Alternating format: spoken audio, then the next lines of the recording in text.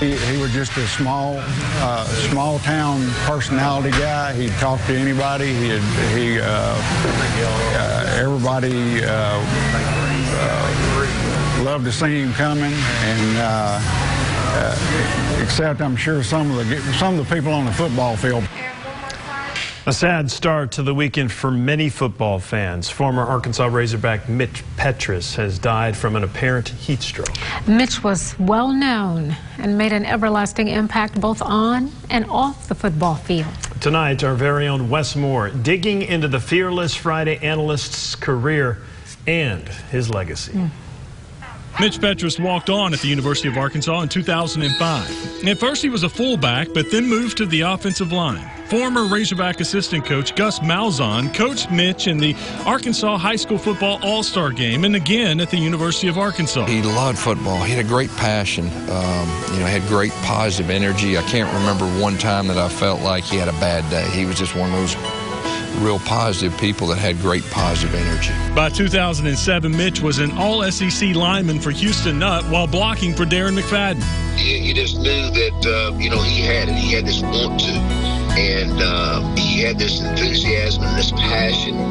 Uh, the, whether he's in the weight room, and he was so strong, weight room or on the field, uh, you, you, just just loved his attitude, you loved his energy, and you loved the way he brought it every single day. Man, that's uh, that's that's tough, man. Um, a guy like Mitch Petrus, man, that's a that's a guy that's he's a joy to be around, man. He smile on anybody's face, brighten up any room that he walks into, man. It's um, it's just a tough deal to, use, uh, to lose a guy like him so young, man. Mitch made All SEC again in 2009 as a redshirt senior. He went to the NFL Combine and put on a show, putting up 45 reps in the bench press, the second most ever. The New York Giants selected Mitch in the fifth round of the 2010 NFL Draft. He started three games in 2011 and won a Super Bowl ring with the Giants. His NFL career came to an end in 2013. I'm Mitch Petrus, and we're here at North Little Rock versus McClellan, and we have the first half highlights coming up. The NFL's loss was our game. In 2015, Mitch began reporting for Fearless Friday. Election season is upon us. We got more food than Golden Corral. I'm officially running for Senate. Joe T. Robinson is my running mate. Oh, oh, give it to me, give it to me. Oh, oh, oh. Every Friday night in the fall for the last four seasons, he put on a show for high school football fans.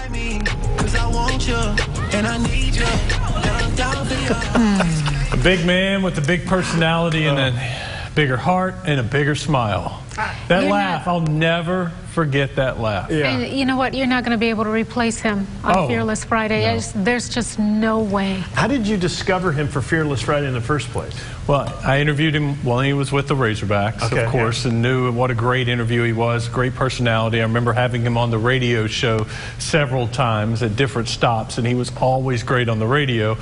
And I thought, you know what? When he was on our Sunday night show as a Razorback analyst, he was fantastic, a great personality, and he wanted to do more. He, mm. he wanted the challenge, and we threw this out for reporting for Fearless Friday. I think it was his idea, actually. I was like, okay, let me see. We'll run it by the boss. Let's and hold our breath. He, he was gold. He was radio gold, and he was TV gold. Yes, he was. His personality came through, and, and his love for football, and especially his love for high school football came out in our coverage. And I think mm-hmm. the fans, that's what, that's what attracted the fans. Well, and he has a lot of fans, oh. a lot of friends out there. I know you've been asked to speak at his memorial service. Yeah, that will be probably one of the tougher days for yeah, me as someone who speaks for a living. Sometimes finding the, the oh. right words are very tough to do, mm-hmm. but it was. Uh, it was pretty amazing today to see Mitch Petrus trending on Twitter. It yes. wasn't for the right reason, but mm-hmm. it just showed how much he was loved, not just here in Arkansas, but